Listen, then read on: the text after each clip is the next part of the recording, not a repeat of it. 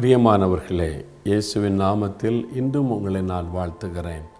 இன்றைக்கும் உங்களோடு பேசுவது உங்களோடு இணைந்து ஜெபிப்பது எனக்கு அதிக சந்தோஷம்.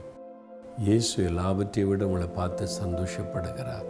ஏன் தெரியுமா? நீங்கள் அவரோடு நடக்க உங்களை அர்ப்பணித்து தினமும் நிகழ்ச்சியை பார்க்குறீங்க வசனத்தை கவனிக்கிறீங்க. அதனால் உங்கள் நிமித்த ஆண்டவர் மகிழ்ச்சியாக இருக்கிறாரு.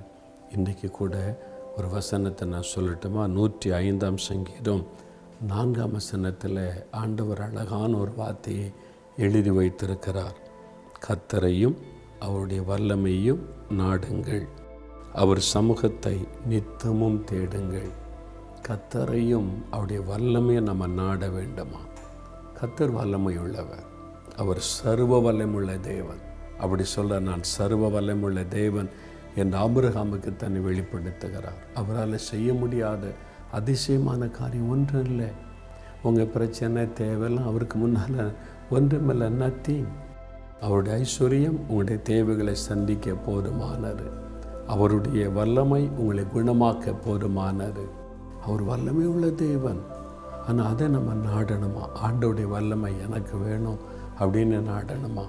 அதை எப்படிங்க பெற்றுக்கொள்ள முடியும்? அப்போ சில ஒன்றாதிகாரம் எட்டாம் வசனத்தில் பரிசுத்தாவி உங்கள் மேலே வரும்போது வல்லமை பெற்றுக்கொள்வீர்கள். You shall receive the power நம்ம வல்லமை பெற்றுக்கொள்வோம் அப்போ பரிசுத்த ஆவிக்குள்ளே உங்களை பலப்படுத்தி கொள்ளணும். பரிசுத்தாவினாலே நிறைந்திருக்கணும்.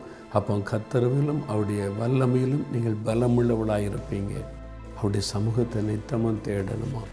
பரிசுத்தாவியில் நிரம்பி ஜெபம் பண்ணி அவருடைய சமூகத்தை நித்தமும் தேடணும். அவருடைய சமூகத்தில் காத்திருக்கணும் ஜெபிக்கணும். அவருடைய வசனத்துக்காக நம்ம காத்திருந்து கேட்கணும்.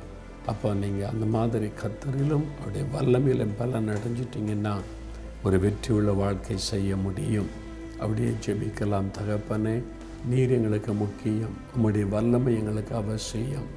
தேவரீர் உம்முடைய சத்துவத்தின் வல்லமையினால் எங்களை பலப்படுத்தும். ஒவ்வொரு பிள்ளைகளையும் உடைய வார்த்தையின் வல்லமையினால் பலப்படுத்தி அவங்களை தைரியப்படுத்தி சந்தோஷப்படுத்துவீராக.